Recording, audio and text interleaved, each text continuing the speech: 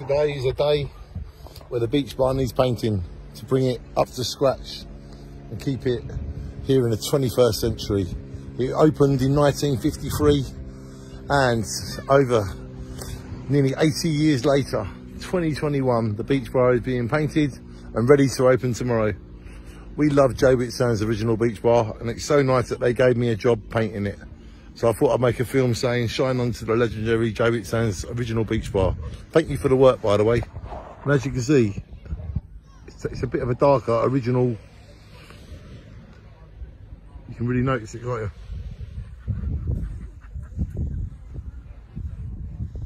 Look at that. So that's what it was.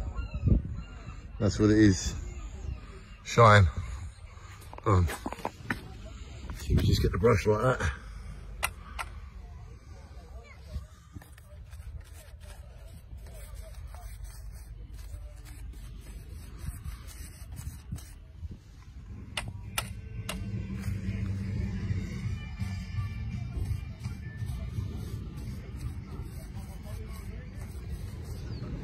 That is how it's done.